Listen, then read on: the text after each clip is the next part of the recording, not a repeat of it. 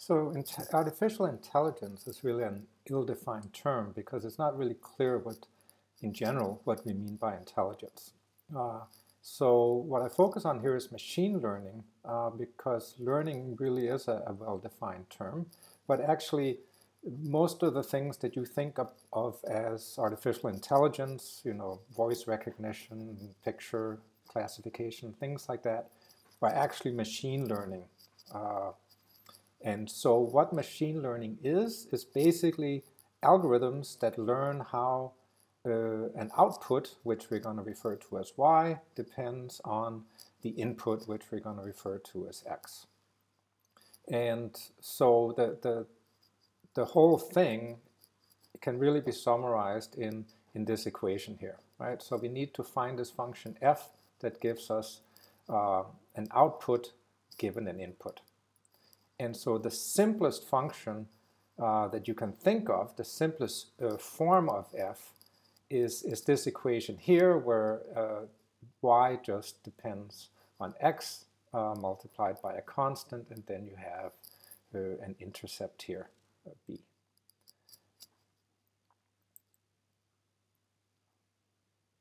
So that is known as linear regression. So like every other field, um, machine learning has its own set of, of terms. So uh, what you normally think of here is linear reg regression with uh, m uh, as a slope and b as an intercept.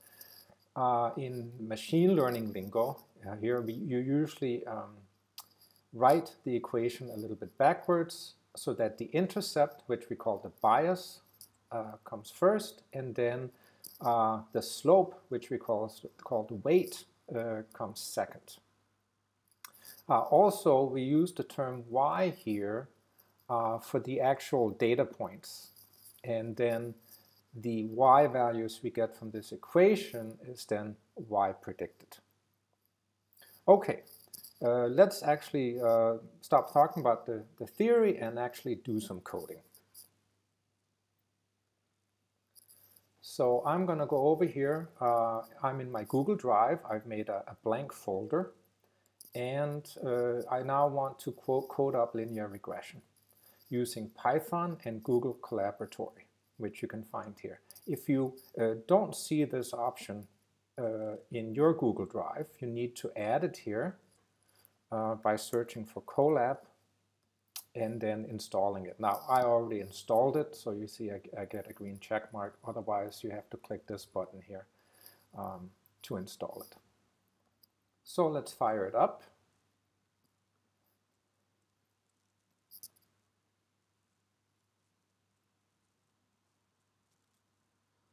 Okay, and so here we are. Uh, the first thing I want to do is rename the file so I know what's, what's in the file. And I'm going to call it linear regression. Okay, uh, then we're going to start uh, with some data. Now, that's going to take a little bit of typing in this case. Uh, so I uh, just going to copy it and paste it in here. So here are my x and y values. Right? So here's my first set of x and y, y values. Here's the second set and so forth. So I have x here and y here.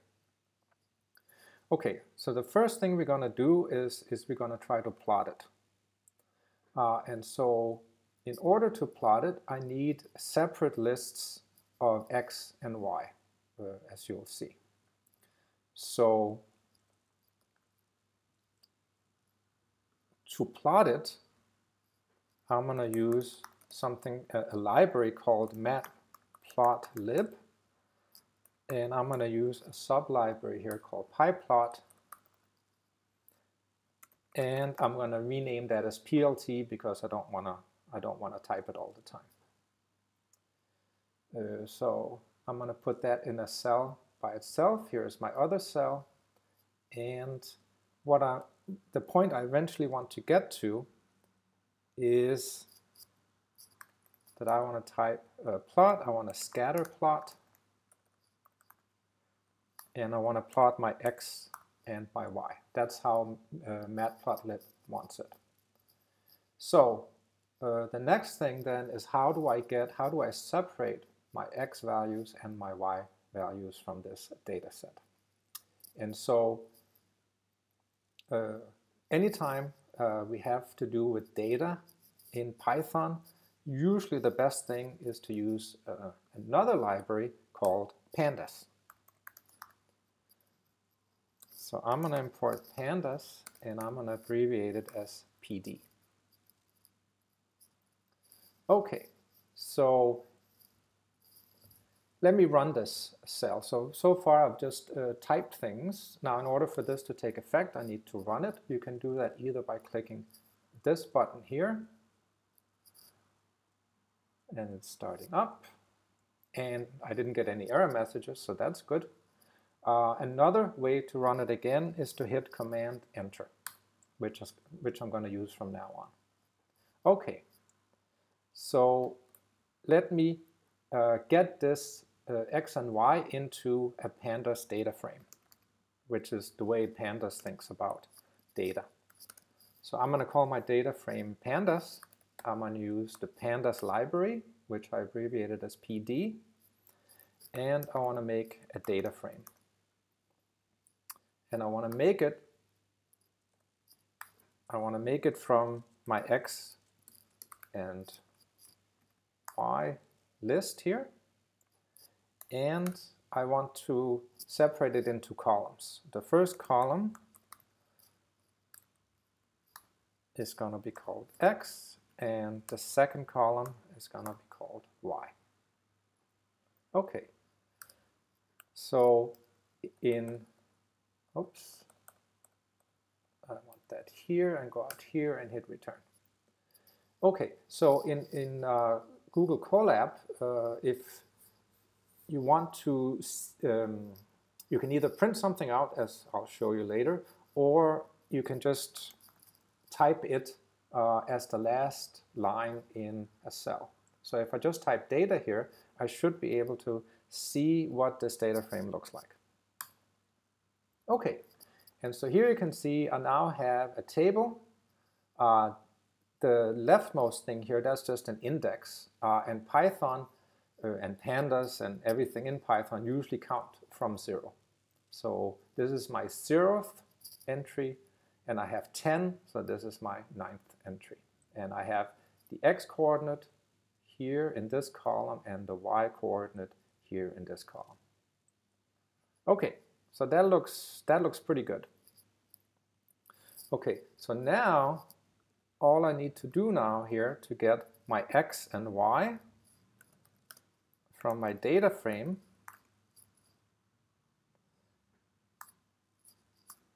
is to type, uh, to tell it I want to use my column labeled x here for x and my column labeled y here for y. Okay, let's see how that works. Okay, I got an error. And, oh, yes, so I can, it has no attribute scatter plot. So if you look that up, that's, if you look uh, at the matplotlib library, that's exactly true. It's actually called scatter. Okay, and so here are the, here are the points. So here are my y values. Okay, so the next thing I want to do is I want to try to make a model that predicts this. I want to make a machine learning, a linear regression model. So I want some y predicted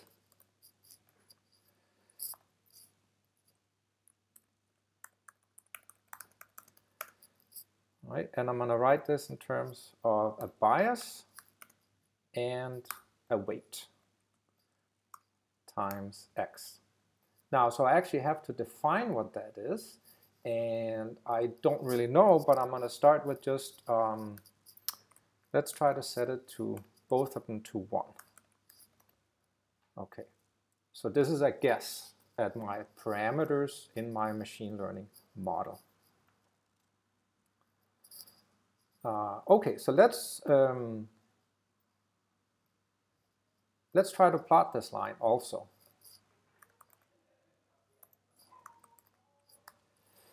Right, so I want to plot my y predicted against my x values. And now I want to plot it as a line, so I use plot here instead of scatter. Um, okay, well, it doesn't look it doesn't look too bad, but I probably could do a little bit better.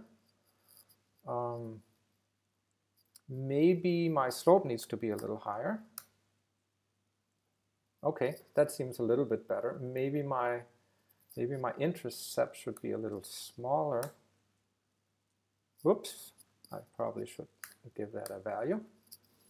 Uh, oops, sorry, I was messing that up. So I want my slope a little larger and maybe my intercept a little smaller.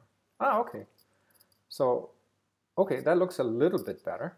Now, it would be nice to have some kind of uh, measure of whether I'm doing better or worse, right? Because right now I'm, I'm just sort of eyeballing it.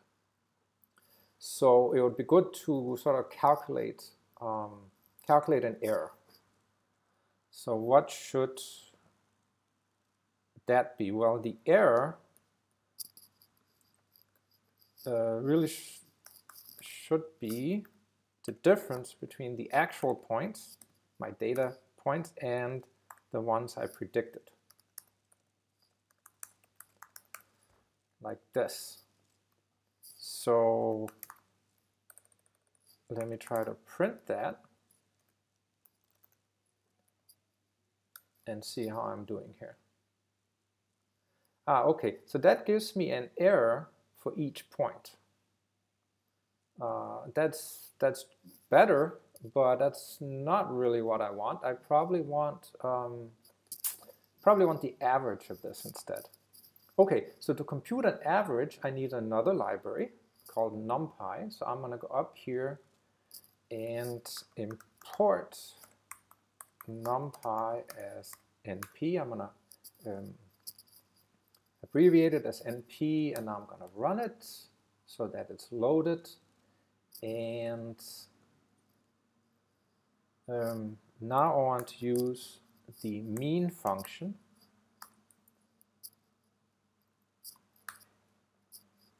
in NumPy. And now I should just get a, an average of all these values. Yeah, okay, good. So,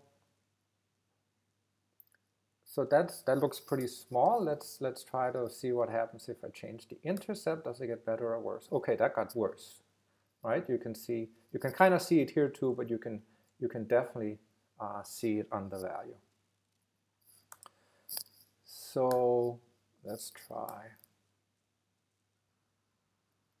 Okay, so that's good. Uh, let me try, maybe I should make it even bigger here.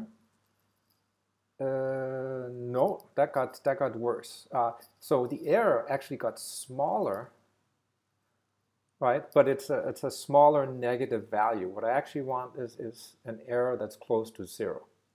Uh, and so actually what, what a lot of people do to avoid confusion, right? Because this is smaller uh, than,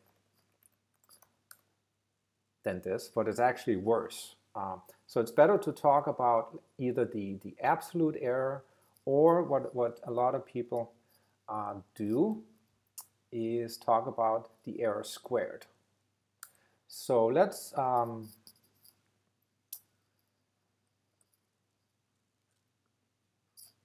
let's square this. So in Python, uh, you do that with two stars. And okay, so now I have a value here. Of course, it's larger because I square it. Uh, notice that it's the, the average of the error squared, right? So it's not the 0.25 squared, it's the average. So it's not the uh, square, it's not the average error squared, it's the average of the error squared. But either way, it's just a number, and the question is whether it now gets, gets bigger or larger, uh, bigger or smaller when I go to 2, for example. Okay, got, got a lot bigger. Okay, so bigger mean squared error, uh, worse, worse plot, right?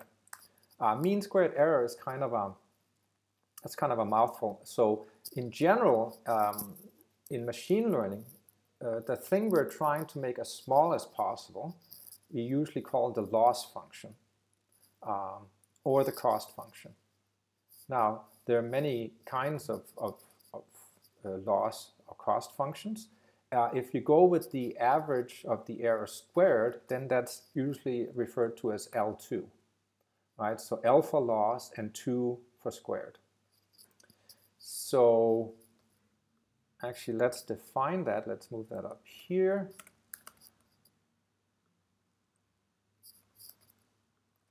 So that I know what it is. And actually, what, what people do in many cases is multiply this um, by a half.